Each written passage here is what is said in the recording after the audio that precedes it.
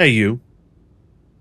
So, apparently, a few of my students have found my YouTube channel despite my protestations. My guess would be that since y'all aren't big readers, you're just here to make fun of me, but that's okay. I hope you get some entertainment out of this. Anyway, since my last bookish video, I have read 23 books, and over my next several videos, I would like to discuss them. So here we go. The first book I read in the summer of 2024 was Leviathan Wakes. This book is by James S.A. Corey, which is the collective pseudonym of a writing duo that consists of Daniel Abraham and Ty Franck. This is the first novel in the critically acclaimed Expanse series, and it was intended to be a buddy read with some church friends, but pretty much everyone else ended up dropping out due to the book not being to their liking. But I loved it.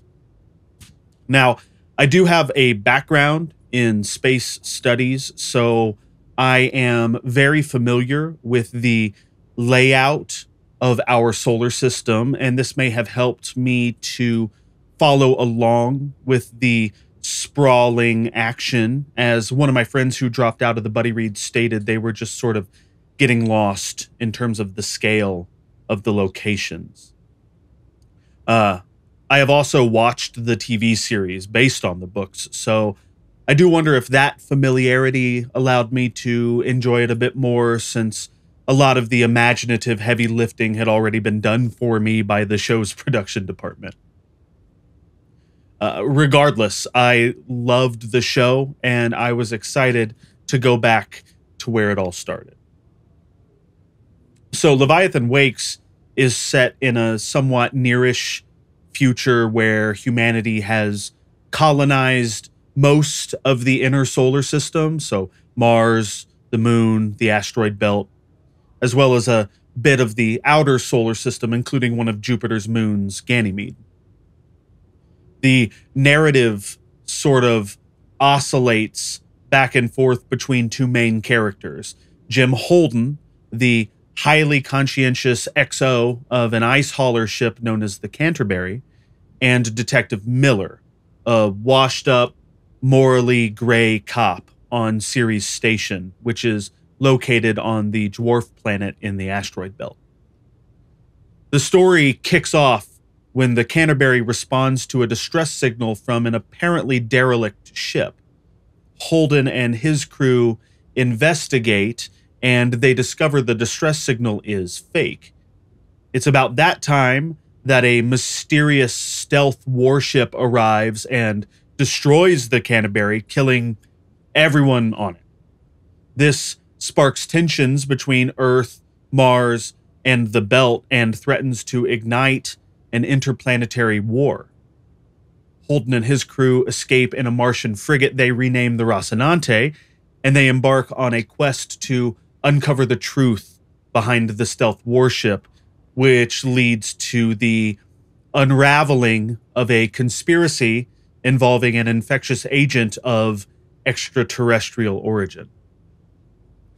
Meanwhile, Miller is assigned to find the missing daughter of a wealthy mercantile magnate, and his investigation pulls him into the same conspiracy as Holden and company. As the story progresses, Holden and Miller's paths converge, revealing the true scale of the conspiracy. They discover that this infectious agent, known as the proto molecule, has the potential to transform and even possibly destroy all life in the solar system. It all builds to an exciting climax as Holden and Miller race against the clock to stop those who seek to use the proto molecule for their own nefarious ends. This book isn't perfect by any means, but as far as I'm concerned, its strengths far outweigh its flaws. I fell in love with Jim Holden and the crew of the Rocinante as they made their way from one perilous situation to another throughout the solar system. I could have done without a lot of the italicized internal monologuing. This is just an authorial choice that always feels very amateurish to me. And with the first and third acts being extremely exciting, the middle did seem to sag just a tad as the in game pieces got moved into place. But I do think the climax was terrific and the resolution was quite satisfying, especially considering there are eight more books in the series. Thematically, the book revolves around humanity's never ending struggle with power and unity. It puts on display how our fears and our ambitions lead to conflict despite considerable technological advancements and expansion beyond our home planet. In the future, we remain deeply divided along political lines, along cultural lines, along social lines, just like we are now. But it's not all doom and gloom because it also celebrates the resilience of the human spirit and our capacity to cooperate, especially when faced with existential threats. I mean, this is a truth that Ozymandias revealed at the end of Watchmen, right? That sometimes all we need to come together as a species is a huge, larger than life, world ending threat. All in all, I gave Leviathan Wakes a five star review, and I'm very excited to read the next one, which is called Caliban's War. So, in my 2024 tier ranking, which you may notice I have changed from S, A, B, C, D to loved it, liked it, it was okay, didn't care for it, and couldn't finish it. I believe I'm going to place Leviathan Wakes firmly between This Is How You Lose the Time War and Piranesi. I think Time War is a special book. Piranesi is too.